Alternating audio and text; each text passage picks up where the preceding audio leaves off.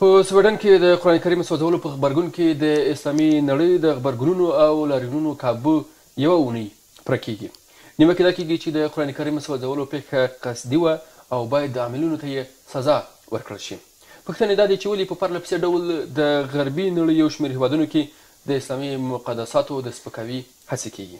د دې ډول پېښو تر شا کوم اهداف دي؟ سلام، ستړي مه شئ، زه خیرالعاید یم، د همدې موضوع د تحلیل په هدف راسره دیني عالم ښاغلی قاضي لودین او خبریال او لیکوال ښاغلی ستوري ګل ستوری مېلمه ده خپلو دواړو مېلمنو ته ښه راغلاست وایم ستړي مشي ډېره ډېره مننه چې په پروګرام کې سره ګډونوال شوي یاست ښاغلی لودین صاحب د پروګرام پیل به له تاسو سره وکړو د لومړۍ پوښتنې په توګه باندې ولې داسې پیښې تقریبا تکراري کېدونکې دي چې کابو په هالند کې بیا وروسته په سویډن کې ځینو نورو هیوادونو کې هم داسې هڅې شوې دي چې هلته د اسلام مقدساتو ته سپکاوی پکې کېږي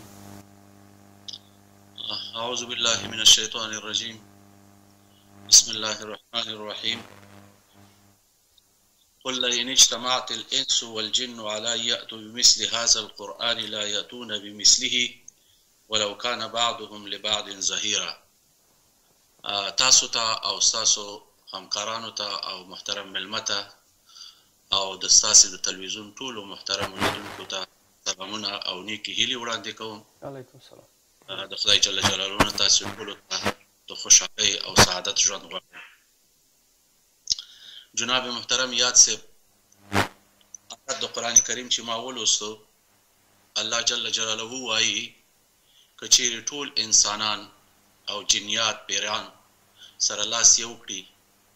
او ټول سره راټول شي دوی نشي کولی چې یو ایات د قران کریم کوم چې قران دی ددې په شکل باندې ایات د قران کریم جوړ کړي قل لئن اجتمعت الانس والجن علی ان یاتو بمثل هذا القران لا یاتون بمثله ولو کان بعضهم لبعض ظهیرا او بیا الله جل جلاله په قرآن کریم کې په بل ځای کې وایي چې انا نحن نزلنا الذکر و انا له لحافظون جناب رسول الله صلی الله علیه وسلم ته او د هغه امت ته دا وایي چې دا قرآن زما دی او زه دا قرآن په خپله د دې نګهداري کوم په هیچا باندې هیڅوک د دې ادعا نه لري چې زه اسلام په خطر کې دی یا اسلام په ټکر کې دی یا قرآن وسوځول شو یا قرآن د خپو لاندې شو دې ته ظاهري اهانت وایي ظاهري اهانت دی خلکو ته قرآن کریم د بیماران فکری یا د مریضانو فکری خطاب کړی دی او دا لومړی ځل نه دی چې قرآن سوځول کیږي ځکه چې د قرآن د سوځولو تاریخ تاریخ ته که مونږ وګورو نو هغه په 2004 کال کې یو فلم کې چې د درون لوګ لخوا وشو هلته په قرآن ته توهین وشو تحقیر وشو بیا په 2005 کال کې په ډنمارک کې یو کاریکاتور د جناب رسول الله صلی الله علیه وسلم جوړ کړ په دوه زره او شپږم کال کې ویستر ګارد په قران کریم ته اهانت وکړو په خپل فلم کې او بیا په تری تری جونز امریکایی کشش غوښتل چې په دوه زره او لسم کې درې زره جلد قران کریم وسوځوي ولې په دې کار دا موفق نشو خو بیا هم په دوه زره او یولسم کې د فلوریدا په کلیسا کې یو جلد قران شریف وسوځول شو. شارلي ابدو په دوه زره او پنځلسم کال کې د رسول الله صلی الله علیه وسلم کاریکاتور په اهانت سره نشر کړو په دوه زره او نولسم کال کې بیا په دوه زره او شلم کال کې همدې لار تورسن دا عمل سرته ورسو چې اهانت اسلام ته وکړ په دوه زره او نولسم کال کې په ډنمارک کې بیا په دوه زره او شلم کې اوس دا په دوه زره او درویشتم کې په سویډن کې دا کار وشو دې ته مونږ د بیان ازادي هیڅ وخت کې نشو ویلی بلکې دا د بیان د ازادۍ پر ضد ده قرآن کریم داسې یو کتاب دی چې هغه د یوازې د مسلمانانو د پاره نه دی هغه د ټول بشریت د پاره دی قرآن کریم د اټول قرآن کریم کې د انبیا علیه الصلاۃ والسلام نمونه راغلي هغه نمونه چې هغه د دوی د عیسویت او د يهودیت او د نورو ادیانو پیغمبران هم وو قرآن کریم د پیغمبر صلی الله علیه وسلم د نبوت یو سند دی او دا سند به هغه نبوت چې تر قیام تر قیامته پورې به په نړۍ کې تصدیق ولري او نن الحمدلله یو نیم میلیارد وګړي د نړۍ یا یو نیم میلیارد انسانان هغه په قرآن باندې ایمان لري او مونږ په دغه دغه یو نیم میلیارد انسانان په ټولو ادیانو اسماني ادیانو ایمان لرو که مونږ چیرته د عیسی علیه السلام نه منکر شو او یا د موسی علیه الصلوة والسلام نه منکر شو او یا د خپلو اسماني کتابونو نه منکر شو دا مونږ جفا کړې ده او مونږ د اسلام د دایرې نه وتي وو قرآن زما زما او زه په خپل الله جل جلاله چې قرآن زما کتاب دی زه په خپل باندې ساتم د ټولو انسانانو لپاره دا قرآن رانازل شوی یوازې د مسلمانانو د پاره نه دی، قرآن د ټولو انسانانو او د ټول بشریت د پاره نازل شوی ځکه چې د ټولو انبیاوو کړنې او هغه ګزارشات یې پکې پیغمبر علیه الصلوة والسلام ته الله جل جلاله بیان کړي دي، د قرآن اعجاز ته که موږ وګورو نو دا ډیر یو اسانه او روشنه کتاب دی، قرآن د اخلاقو کتاب دی، قرآن د انساني کرامت کتاب دی، د بېنوايانو د حقوقو مدافع دی، قرآن د خدای د بندګۍ لپاره قرآن رانازل شوی چې موږ ته یې ویلي چې تاسې به د هېڅ فرعون بندګي نه کوئ او د خپل نفس د تزکیه لپاره راغلی، قرآن د مېرمنو د حقوقو لپاره راغلی دی چې په اسلام کې مېرمنو ته څومره حقوق قرآن ورکړي دي هېڅ دین نه دي ورکړي. قرآن د ميانه روۍ او اعتدال دين دی يعني د خشونت او د افراط او تفريط دين نه دی او هيچا ته دا اجازه نه ورکوي يو له په څليريس زره زيات غم پيغمبران د الله جا د جانب نه اقوامو ته راغلي دي دې ټولو ته صرف د دې وظيفه ورکړ شوې ده چې تاسې صرف تبليغ وکړئ او رسالت وکړئ انک لا تهدی من احببت ولکن الله یهدی من یشاء تاسې خلک مه مجبوروئ، خلک په قمچینو مه وهئ، خلکو باندې سرونه مه جوړوئ، خلکو باندې پرتوګونه او هر څه چې خلک کوي تاسې یې پرېږدئ، هلته په ورځ د جزا شته دی، تا ستاسې وظیفه پیغمبرانو ته ویلي چې صرف تبلیغ او رسالت دی، یعنې قرآن د دعوتګرۍ دین دی. ښاغلی لودي صاحب د همدې مسلو تر شا سیاسي اهداف یا هم د هیوادونو پر رول باندې به وغږیږو وروسته راځم راځم دې ته راځم صاحب دې ته راځم دغه خلک چې دي قرآن دوه دوه بعد لري یو ظاهري اهانت دی او یو باطني اهانت دی متاسفانه هغه خلک چې هغوی په اسلام باندې مشرف شوي نه دي هغوی ظاهري اهانت ورته کوي خو مسلمانان بیا موږ ورته باطني اهانت کوو موږ مسلمانانو تاسې د یو ژورنالیست په حیث کاشکې په هغه جلسه کې چې جلال اباد کې دایره شوه او یا په خوست او پکتیا کې دایره شوه هلته هم د لس نفرو نه دا پوښتنه کړې وه چې ته په قرآن پوهېږي؟ ته دا د خپل لمانځه په معنا باندې پوهېږي؟ ته دا د شهادت کلمه دې صحیح تیره که ماته مونږ بغیر مونږ هبیشه د با صلاح تکفیر به نبر د تکفیر بیرویم مونږ هبیشه د د تکفیر صلاح سره نبر د تکفیر ته ورځو راځی زه وایم چې مونږ د د دیو ته ضرورت نشته چې مونږ نور خلک تقبح کو مسلمانان مکلف دی مسولیت یې دی دا وظیفه یې ده چې د قرآن کریم نه اګاهی پیدا کړي او په قرآن باندې عمل وکړي. کوم څه چې حرام او حلال په قرآن کې واضح شوي دي، هغه که موږ چېرته دنیاوال زموږ اعمالو ته ګوري،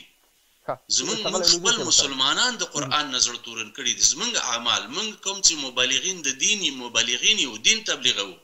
دا دین هم خلکو ته داسې معرفي کړی دی چې هغه، خدای ناخواسته، دا دین د رحمت دین نه دی، دا دین د عذاب. دين دی نه دا دين د رحمت دين دی دين د مهربانۍ دين دی او رسول الله صلی الله عليه وسلم ته الله جل جلاله وايي چې وما ارسلناک الا رحبة للعالمين په دې اړه باندې زه فکر نه کوم که دا د دولتونو د بين المللي ميثاقونو په ضد باندې دغه عمل دی دا د يو څو محدودو انسانانو چې هغوی رواني تکليف لري هغوی مريضان دي هغوی بيماران دي قرآن دوی ته د بيمارانې فکري خطاب کړی دوی راځي قرآن سوځوي یا قرآن د خپو لاندې کوي خو دلته چې خدای تعالی د قرآن خپله ضمانت کړی دی فقط زما هدف او زما عرض دا دی څوک چې زما خبره اوري چې راځئ چې مونږ په خپله باندې قرآن په خپل ځان تطبیق کړو مونږ ته قرآن څه ویلي دي مونږ ته ویلي قرآن چې تاسې د تعلیم دروازې خلاصې کړئ تاسې خلکو سره محبت وکړئ، تاسې خلک په دعوت باندې اسلام ته راجذب کړئ، تاسې په ادع الی سبیل ربک بالحکمة والموعظة تاسې په ډیر مینه او محبت او په ډیر عاجزۍ باندې کله چې موسی علیه الصلوة والسلام فرعون ته ځي دعوت ورته کوي الله جل جلاله ورته وایي چې ای موسی ورشه فرعون ته په ډیر نرمښت دعوت ورکړه. فکر دې نیسه چې آیا العیاذ بالله خدا خدای جل جلاله د فرعون نه نه ویریده ولې دا د اسلام اعتدال دا په خپل باندې په اسلام کې دعوت کول یا په خپل باندې مبلغین د اسلام دوی ته لازمه ده چې موږ په خپل مسلمانان په قران باندې آگاهی پیدا کړو او په خپل روزمره ژوند کې عملی کړو ډیره مننه کغله لودی سه متربه هم تاسو تراګرځو ډېره مننه کورم اباد تاسو کافیان د خپل تحقیق درلودل ښاغلی ستوري ګل ستوری تاسو د خبریال په توګه باندې وضعیت څارلی دی نه یوازې په افغانستان کې بلکې تقریبا په اسلامي نړۍ په ګڼ شمېر نورو هیوادونو کې هم لاریونونه شوي دي غبرګونونه شوي دي تاسو دا وضعیت څارلی دی غبرګونونه تر کومه کچه دي تر کومه بریده دي بسم الله الرحمن الرحیم دا هر څه د مخې یاد صاحب تاسې ته جناب لودین صاحب ته او د ټلویزیون ټولو کتونکو ته سلامونه او نیکې هیلې وایم یاد صاحب دا چې په سویډن کې دغه پیښه رامنځته شوې یعنی د قران کریم به حرمتي شوې ده د د په مقابل کې ګڼ شمیر خبرګونونه نړیواله سطح هم په داخل د افغانستان کې تر سره شوې دي چې په زیاته کچه بیا په هیواد کې ډیر دي نورو اسلامي هېوادونو هم د دې پېښې په مقابل کې غبرګون ښودلی دی او دا پېښه یې په کلکو ټکو غندلې ده خو چون موږ که افغانستان او نوره نړۍ ته نظر وکړو بیا په افغانستان کې دا غبرګونونه ډیر دي تېره ورځ هم په ننګرهار کې لاریونونه ترسره شول نن بیا په لغمان کې یو لاریون دی همداسې په نورو ولایتونو کې ګڼ شمېر لاریونونه وشول په خوست کې نو څنګه چې معلومیږي اسلامي نړۍ لکه سعودي عربستان، پاکستان، افغانستان او د نورو اسلامي هیوادونو دولتونو هم دغه پیښه په کلکو ټکو غندلې حتی تر دې چې د سویډن چارواکو هم ځنې دا پیښه غندلې ده خو هغوی چون په دغه مسلې کې دخیل دي بیا هم ورته هغه د اسلامي نړۍ د خوله بندولو په خاطر ځنې الفاظ کارولي دي یعنی دا پېښې مخکې هم ترسره شوي دي، خو یوازې د غندنو تر حده پاتې شوي. بس یوازې لاریونونه شوي دي او غندنې شوي. زما په فکر چې دا به یې حل لاره نه وي، ځکه که موږ یوه پېښه یوازې وغندو او په وړاندې یې اقدام ونه کړو، بیا تکرارېږي. دغه دی موږ یې ګورو، څه وخت وړاندې جناب لودین صاحب یادونه وکړه، چې مخکې هم دغسې د قرآن عظیم الشان بې حرمتي شوې وه هغه وخت کې هم که فکر وکړو یوازې لاریونونه وشول او غندنې وشوې خو اسلامي نړۍ داسې یو اقدام ونه کړ چې د دغه مسایلو یعنی غربیان چې د اسلامي مقدساتو به حرمتي کوي د دې لپاره داسې یو اقدام نه دی شوی چې په آینده کې د ده مخنیوی وشي یا بیا دغسې پیښې تکرار نشي ګڼ شمېر غبرګونونه شته دي خو زما په فکر چې دده لپاره یو عملي او سم اقدام په کار دی. ښه، یوه بله پوښتنې په توګه پاتې کېږي، بیا هم له دین سره ته راګرځو، دغه غبرګونونه په کومه کچه دي ښاغلی ستوري ستاسو په اند باندې په ولسي برخه کې ډېر پیاوړي دي، د دولتونو په سطح باندې ډېر پیاوړي دي، دا ټوله کې دا د سیمې هېوادونو یا د اسلامي نړۍ په سطح په کچه باندې که تحلیل ولرو، حکومتونو ډېر غبرګونونه ښودلي دي، په ولسي برخه کې ډېر غبرګونونه دي؟ تاسو طبعا دا وضعیت څارلی دی هو که دې اړخ ته فکر وکړو نو په دغه غبرګونونو کې زیاته برخه د ولسونو ده دولتونه خو یوازې یو اعلامیه کې ووایي چې یاره بس دغه مسایل په کلکو ټکو غندو بیا ولسونه دي چې لاریونونه کوي د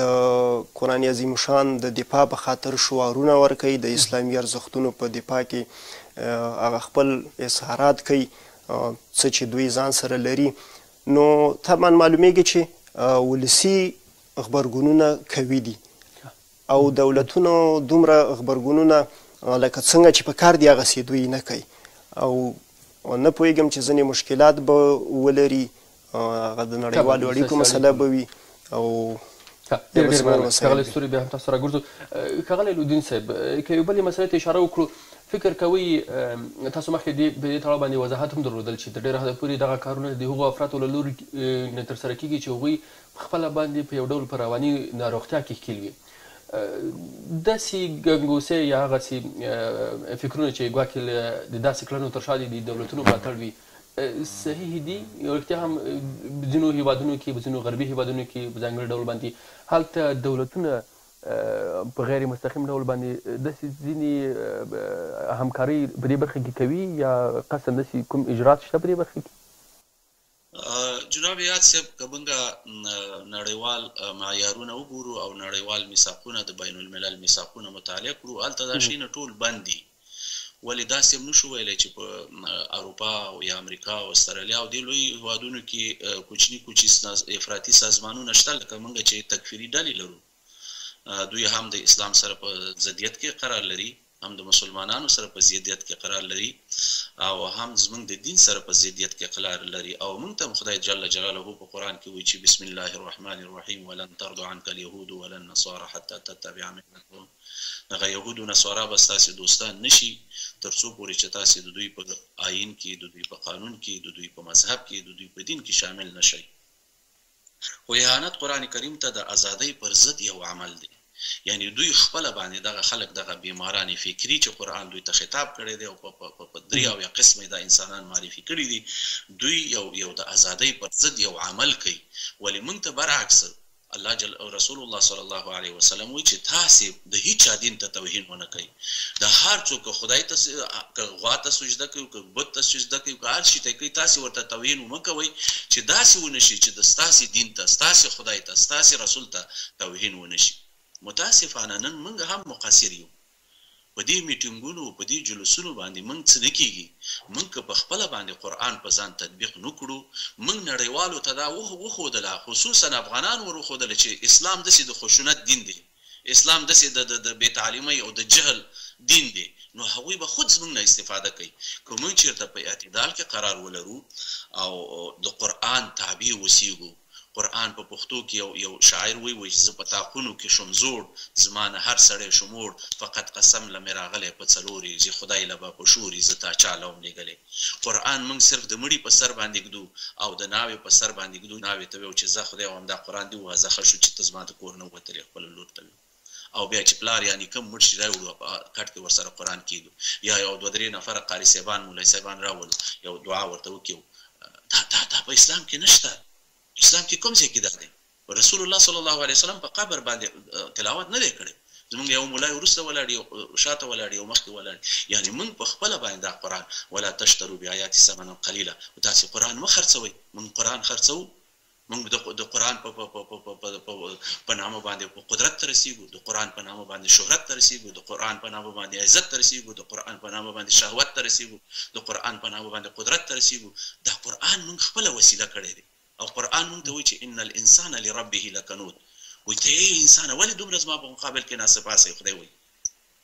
که موږ حقیقي قرآن باندې ایمان وکړو، موږ غلا کوو، غصب کوو، دروغ وایو، قتل کوو، څه څه جرائم نه دي چې هغه په مسلمانانو کې نشته، بناء خلک موږ ګوري، خلک ګوري او ولا دې مسلمان داسې عمل کوي، راځه دا قرآن ورته وسوځوه. نو دا د دې لپاره مبلغین په کار دي، د دې لپاره هغه متخصصین په کار دي، اسلام متخصص ته، تخصص ته احترام لري، اوس ګوره مونږ ټول هر څه هر څه یو یو ملا صیب ته مو په لاس کې ورکړل داسې نه کیږي ډاکټر باید خپله ډاکټري وکړي ژورنالیست باید خپله ژورنالیستي وکړي قاضي باید په خپله قضا باندې کیني تر څو وکولی شو مونږ چې اسلام په حقیقي شکل باندې نړیوالو ته معرفي کړو دغه ټولنې او کوچنۍ کوچنۍ ټولنې دي په ټولو هیوادونو کې شته په اسلامي هیوادونو کې څومره تکفیري ټولنې دي په یهودو کې تکفیري ټولنې افراطي ټولنې شته په هند کې افراطي ټولنې شته دی په هندویزم مذهب کې هم تاسو وګورئ راجیو ګاندي د هغه مور ټولې ترور نه کړل بناء په مسلمانانو کې هم دا افراطي ډلې شته او په دوی کې هم دا افراطي ډلې شته دی ولې کې زه دا د دومره معلومات هم نه لرم چې دولتونه به به په سطحه د دولتونو به په دې کار کې سهیم اوسېږي؟ نه، کېدای شي د دوی هغه چې موږ او تاسې ورته ټولنې وي، مدني ټولنې موږ هلته بولو، د دوی هغه افراطي ټولنې هلته اوسېږي او دغه اعمال سر ته ورسوي. ښه، ښاغلی دنسي محترم، ډېره ډېره مننه، بیا هم تاسو ته راګرځو. ښاغلی ستوري، په غبرګونونو کې ښکارېږي چې د ترکیې غبرګون څه لیږ له نورو نه پیاوړی ده. خو بیا نیوکې پیدا کیږي چې ترکیه دلته د خپلو اهدافو په لټه کې ده. ترکیه چې له سویډن سره د هغه کسانو د کوم چې په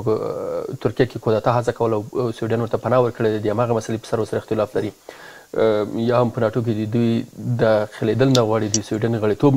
د لغوه کولو هڅه کوي چې بیخي داخل نشي پکې. تاسو څه ډول ارزوئ شته وضعیت کې رښتیا هم ترکیه هڅه کوي چې په اسلامي نړۍ کې د یو سرلاري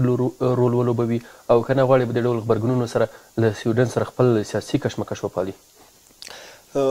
جناب ایاز صاحب که دغه مسله داسې لږه ژوره په نظر کې ونیسو څه وخت وړاندې سویډن په ناټو کې د غړیتوب عریضه وکړه، غوښتل یې چې د ناټو غړیتوب ترلاسه کړي، خو ترکیې یې مخالفت وکړ. هغه په همدغه څو مسایلو باندې چې یو هغه چې په ترکیه کې یو کودتا وشوه او عاملینو ته یې سویډن پناه ورکړه. بله مسله دا وه چې ترکیه وایي چې سویډن د کردي یاغیانو پر وړاندې واضح دریځ نه لري، یعنې د دوی دغه دریځه باید موږ خبردار اوسو. په دغه مسایلو باندې د دوی هغه غوښتنه رد کړه. بیا د دې غوښتنې په مقابل کې سویډن د ترکیې سفارت ته چې په ترکیه سویډن کې دی مظاهره وکړه چې د سویډن دولت اجازه ورکړې وه ورته پولیسو اجازه ورکړې وه چې تاسې دغلته یو لارین وکړئ چې د دې لارین په ترڅ کې د قرآن کریم د سوځېدو دا مسله راغله د قرآن کریم بې حرمتي وشوه لومړۍ مسله هماغه د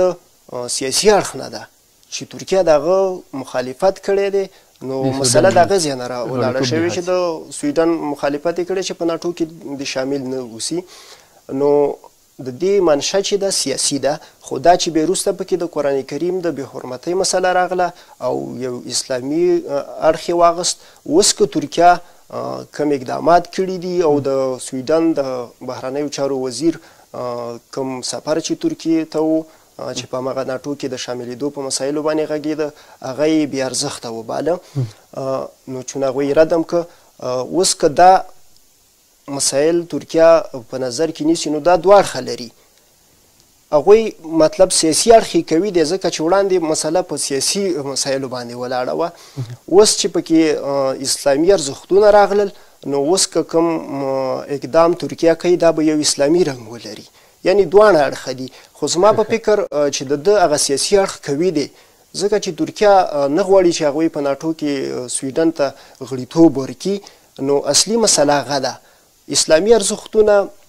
که ترکیه غوښتلی مخکې هم دغسې مسایل شوي دي مخکې هم د اسلامي ارزښتونو سپکاوی شوی دی نه ترکیه اقدام کړی دی نه کوم بل اسلامي هیواد کړی چون دلته د ترکیې خپلې ګټې دي چې هغه د کردانو سره مسله ده او ځینې نور مسایل دي نو په دې برخه کې ترکیه اوس کولی شي د اسلامي اړخ هم د دوی یو ګټه واخلي د دې شي نه ځکه چې دلته یو اسلامي ارزښت ته سپکاوی شوی دی ترکیه کولی شي چې اسلامي نړۍ ته دا وښیي چې موږ د اسلام دفاع کوو صحیح ده دوی د اسلام دفاع کوي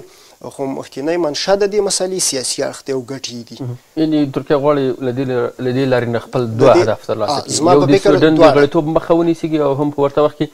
د اسلام سرلاری ځان معرفي کړي. بلکل زما هم دغه هدف دی چې دوی دواړه خواوې وایي. ښه ډېره ډېره مننه ښاغلی علودین صاحب محترم. تاسو ته راګرځو، یوه ستونزه چې لیدل کېږي تاسو مخکې هم ورته اشاره درلودله د قرآن کریم د یا د اسلامي مقدساتو د سپکاوي په ځلونو باندې هڅې شوې دي خو عاملینو ته یې بیا سزا دې ورکړي په برخه کې څه روښانتیا نه لیدل کېږي. تاسو څه ډول انګیرئ، ایا د غربي نړۍ په واکمنانو کې د دې اراده شته دی چې هغوی به بالاخره دا خلکو ته سزا ورکړي، دغه عاملین به محکمې ته راکش کړي، ځکه چې دا خو په نړیواله کچه باندې هم دا یو غندل شوی عمل دی، داسې یو عمل دی چې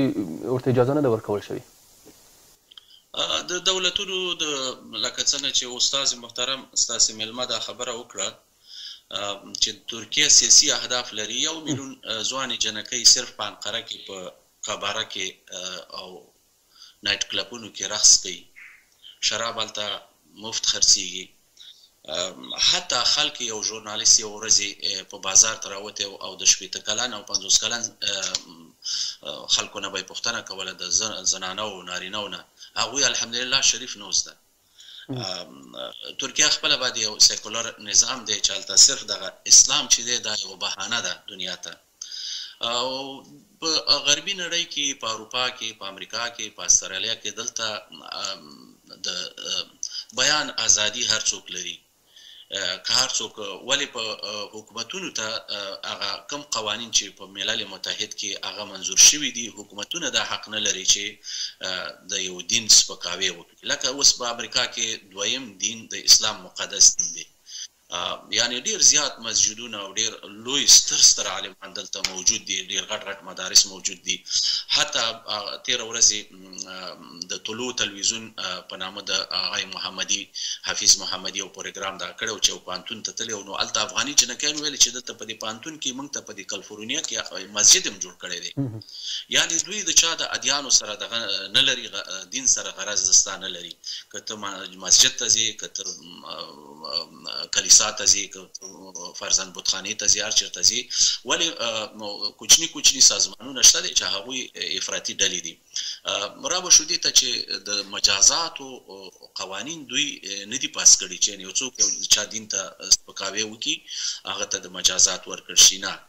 بس دا دار چا خپل کار دی دلته یو آیا آیات د قران شریف دی چې ترجمه یې داسې ده چې یعنی الله جل جلاله کل انعام اولئک کل انعام بل هم اضل اولئک کل انعام بل هم اضل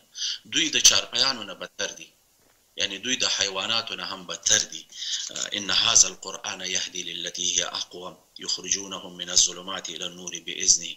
باذنه ويهديهم الى صراط مستقيم يا ايها الذين يا ايها الناس قد جاءكم برهان من ربكم وانزلنا اليكم نورا مبينا ومن اصدق من الله قليلا هغه خلک چې بت پرستان دي یا فرضا عزیر وقالت اليهود عزير ابن الله وقالت النصارى المسيح ابن الله يهود وی چې عزير عليه السلام د خدای زوی دی عیسویان وی چې عیسی عليه السلام د خدای زوی دی دوی ته الله جل جلاله طبعا په ورځ قیامت کې شریک ورسره پیدا کړي دوی مجازات ورکول کیږي ولی حکومتونه دا په ددوی په قوانینو کې داسې کوم څه درج نشته دی چې هغه یو څوک د بل چا دین ته سپکاوی وکړي او که د ستا د ستا هویت ته د ستا شخصیت ته د ستا څیرې ته فرضاً دوی سره نه لګیږي څوک دا حق نه لري او ویل شوي دي ورته په قوانینو کې ویل شوي دي وایم د مجازاتو دغه څوک به دا پروسه به څوک مخته ویسي څوک به وکیل ونیسي څوک به څوک به ورپسې وګرځي مسلمانان خو داسې داسې خوار او ذلیل دي چې هغوی نن د یو یو قب ډوډۍ په خاطر باندې باور وکړئ چې همدا اوس سبا د افغانستان دروازې خلاصې شي ټول خلک وایي چې زه یهودیت ته او عیسویت ته منډې وهم خو زه د افغانستان نه وځم فقر الفقر بین ال... پیغمبر علیه الصلاه والسلام وایي چې خدای موږ د فقر نه وساتي بل حدیث کې راغلي وایي که فقر د دروازې نه راشي ایمان د د کړکۍ د لارې نه وځي نن نن مسلمانان د ډوډۍ پسې وړاندې دي نن مسلمانان در په در دي اصلا ریسرچ او تحقیق دا د مسلمان وظیفه ده چې د څومره چې د دنیا نالجونه پورته راځيږي هغه د قران نالج پورته پورته دی د قران نالج سره هیڅ شی نه برابرېږي ولې متاسفانه چې نن مسلمان دومره په ذلت او خواره کې گرفتار دی چې د خپل هغه حقه حقوقونه د خپل ژوند حق نه لري د خپل حیات حق نه لري د خپل خبرو حق نه لري د هیڅ شي حق نه دی، هر څه تېر زموږ او زموږ یعنې دغه کوم پنځوس ملکونه یا پنځه څو پنځوس ملکونه چې دي د دوی دغه مشران ته وګوره چې کوم یوې کوم یوې ازادي لري،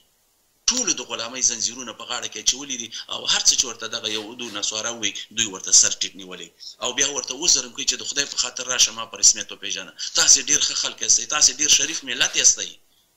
حال دا چې خدای ورته وایي چې یا ایها الذین آمنوا لا تتخذوا الیهود والنصارا آیاتونه مکرر مکرر دي دوی ته زاري مه کوئ دا ستاسو دوستان نه دي خو دوی بیا هم ورته دوستان ورته راځي دغه پیسې دغه دغه دغه دغه دغه همدغه همدغه کمیټې همدغه سازمانونه دا پیسې ټولوي د شراب خانو نه ټولوي د فاحشه خانو نه ټولوي د د د د د همجنس ګرایانو نه ټکس اخلي د هر شي نه ټکس اخلي دا بیا اسلامي ملکونو ته لېږي چې موږ تاسې سره کومک کوو بیا اسلامي ملکونه هغه نوشي جان کوي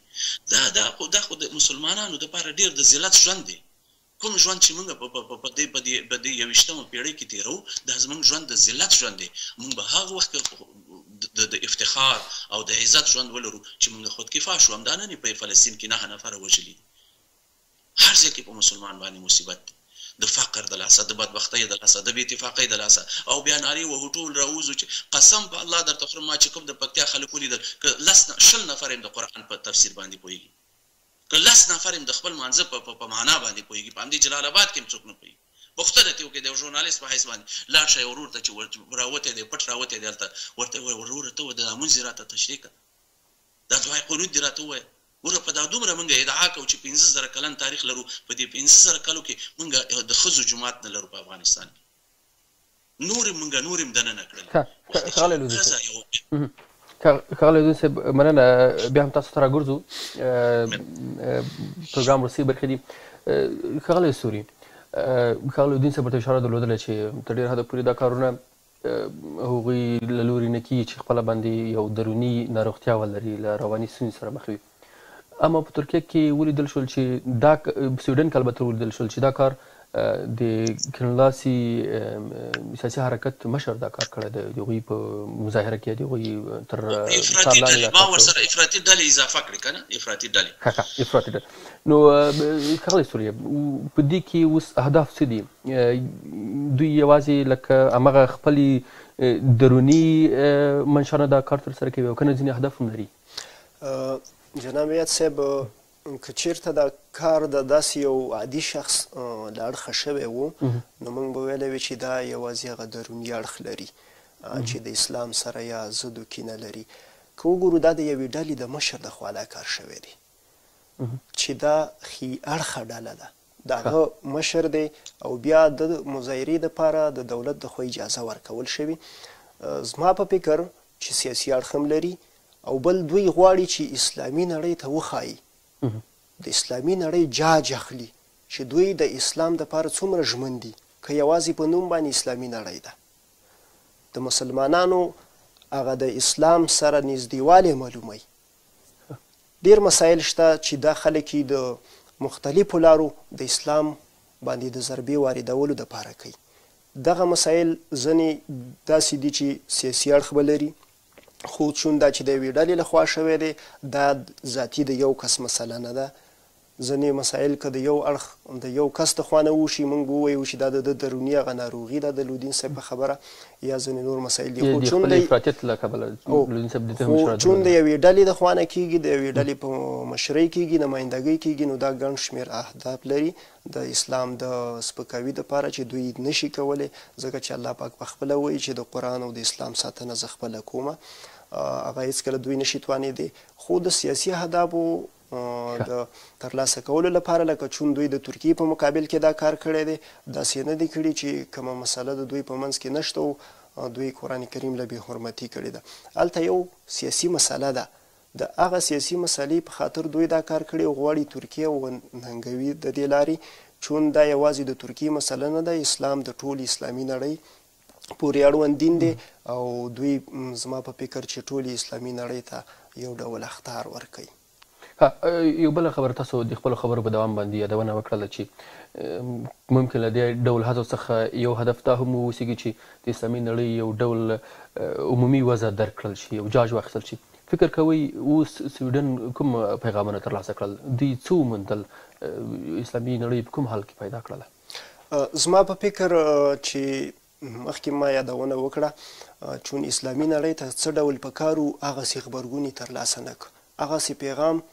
چې په کار وو چې سویډن ته ورکول شي نه دی ورکول شوی ځکه چې یوازې لاریونونه وشول او غندنې وشوې زه وایم چې اسلامي نړۍ هیوادونو د سویډن سره اړیکې سیاسي اړیکې تجارتي اړیکې دا پرې کړې وې خپل سفارتونه یې هغلته تړلي وي بیا به سویډن ته پته لګیدلې وه چې اسلامي نړۍ شته یو څوک شته دی چې د اسلام په حق کې ودریږي او پوښتنه یې کولی شي زما په فکر دا ډیر کمرنګي دي دا غبرګونونه نو سویډن به بیا هم هغه سه پیغام نه وي تر لاسه کړي چې څنګه ورته پکارو ځکه چې دوی ته به اوس معلومه وي چې اسلامي نړۍ لا ویده ده لا د اسلامي ارزښتونو په وړاندې باندې نه ودرېږي دومره څومره چې په کار وه، څومره چې د صحابه وو په وخت کې خلک ودرېده، څومره چې د صلاح الدین ایوبي په وخت کې اسلام ارزښت لرلو خلکو ته او عقیدوي مسلمانان وو او د اسلام لپاره یې قرباني ورکوله، اوس یوازې لودین صاحب هم یادونه وکړه چې زموږ ګڼ شمېر ځوانان په قرآن کریم لا سم نه پوهېږي، نو د اسلام په ننګه به څه پوه شي؟ نو دغه مسایل دي چې کفار زړورۍ او د اسلام په وړاندې دغه سي حرکتونه کوي مننه ښاغلی الدین صاحب تر تاسو سره ګرځو د پروګرام د وروستۍ پوښتنې په توګه باندې ستاسو فن باندې حل لاره څه ده اسلامي نړۍ ته څه کول پکار دی څه داسې یو تګلاره شته چې بل اخره په پلي کېدا سره یې کولی شو د ورته پیښو کمخه نشو نیولی حد اقل اغېزمنتیا یې راکمه کړو لکه دې مسایلو کې یو مهم رول ولوبوو بلکل د محترم ورور په د تایید په خبرو باندې عرض کوم چې په لکونو مسلمانان او په زرونو افغانان همدا اوس په سویډن کې پراته دي او د همدغه افراطي ډلو لخوا دغه کیږي دا سپورټ کیږي ډوډۍ ورکوي کور ورکوي دا شای مسایل ورکوي مونږ ته مسلمانانو ته دغه لازمه ده چې مونږه د مسالمت امیز همزیستی مسالمت امیز مسالمت امیز ژوند دنیاوالو سره وکړو نو په خپل په خپل کور کې د افراطیت مخه ونیسو. افراطیت اسلام د اعتدال دین دی نه د افراط او تفریط دین دی. اسلام د کودتا دین نه دی اسلام د مشروعیت دین دی. اسلام په خپله باندې موږ ته وانک لعلی خلق عظیم وما ارسلناک الا رحمة للعالمین دا د د جناب رسول الله صلی الله علیه وسلم امت باید په خپلو کې سره انما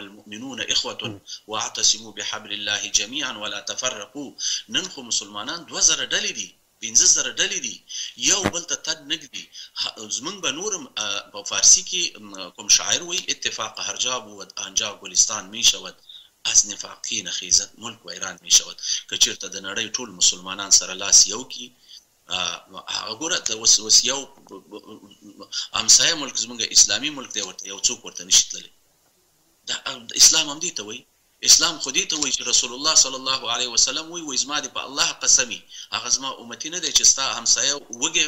د شپه تېره کړي او ته په مړه خېټه باندې شپه تېره کړې او ته دې د همسایه د حال نه خبر نه یې. مونږ به اول کې به د خپلو د خپلو مسلمانانو لپاره هر د هېواد مشران په اسلام کې حکومتداري مسئولیت دی امتیاز نه دی چې زه ووایم چې دا کار ما کړی، د برلین دېوال مې چپه کړ، روس مې چپه کړ، دا مې چپه کړ. وکړه دا مې وکړه اوس باید حکومت زما وسیږي نه اسلام کې حکومت کول دا یو مسولیت دی مونږ باید مسلمانان باید مسلمانانو مشران باید په دې وتوانیږي چې خپلو مسلمانانو اتباعو ته د کار زمینه برابره کړي د مصروفیت زمینه ورته برابره کړي د تعلیم زمینه ورته برابره کړي او ټولو هیوادونو سره مونږ د صلح او مفاهمې او مذاکرې د لارې مخته لاړ شو او مونږ ورته واضح په الفاظو کې ووایو چې مونږ ستاسې دین ته احترام لرو مونږ عیسی علیه السلام منو مونږ موسی عليه السلام منو مونږ عزير عليه تاسې ولې زمونږ دين نه منئ تاسې باور په خدای وکړئ جناب اياد صيب او جناب محترم استاد ميلمه چې دی چې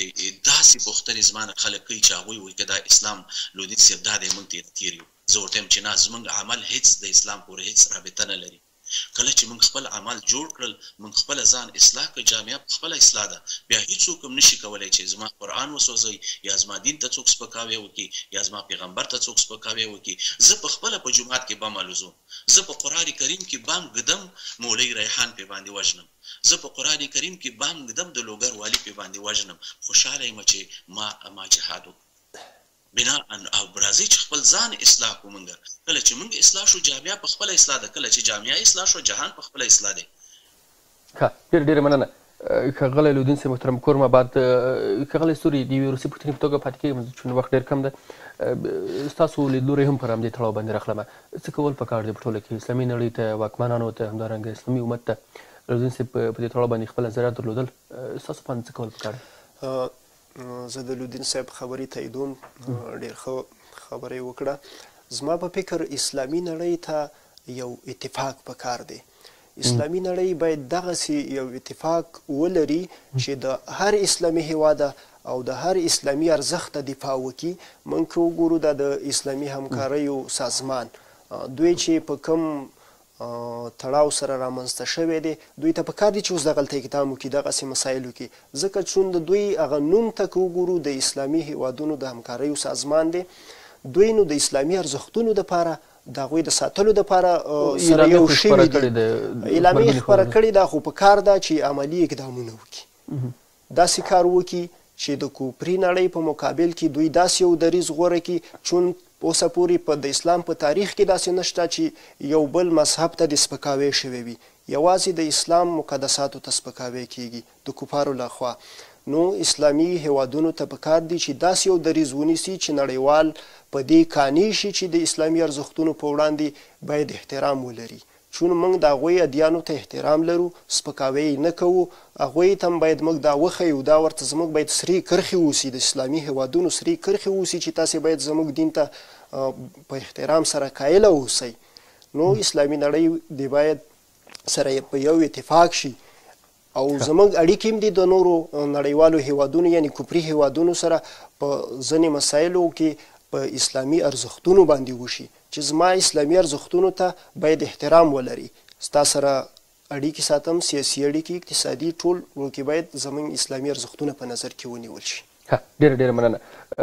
کورم آباد له خپلو دواړو قدرمنو مېلمنو څخه ښاغلي دیني عالم قاضي لودین او خبریال او لیکوال ښاغلي ستوريګل ستوري نه نړۍ نړۍ مننه کوم چې په پروګرام کې راسره ګډونوال شول لیدونکو له تاسو څخه هم نړۍ نړۍ مننه په سویډن کې د قرآن کریم د سوځولو په تړاو مو